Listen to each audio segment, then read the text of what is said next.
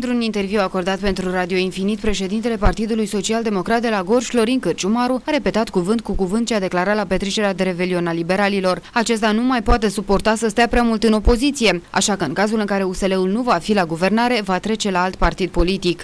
De multe ori am afirmat că nu voi mai sta uh, să reprezint un partid pe scena politică dacă voi fi votat ca, ca primar într-un partid care nu va fi la guvernare.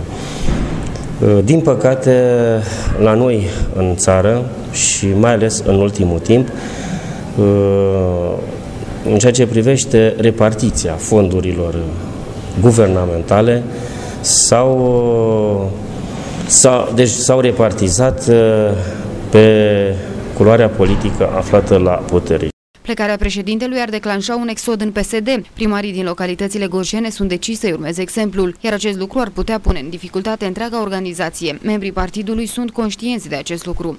Categoric l-ar urma pe domnul Cărciumaru și nu e vorba de a urma pe domnul Cărciumaru. Toți primarii care vor să facă ceva pentru, pentru localitatea pe care o reprezintă. Este clar că nu pot să mai stea în opoziție. O iau ca o decație normală, pentru că și eu, dacă știți bine, atât la televiziune, la radio, unde am avut ocazia, în toată presa, am spus că sunt primar care nu doresc să mai stau al treilea mandat în opoziție. E clară.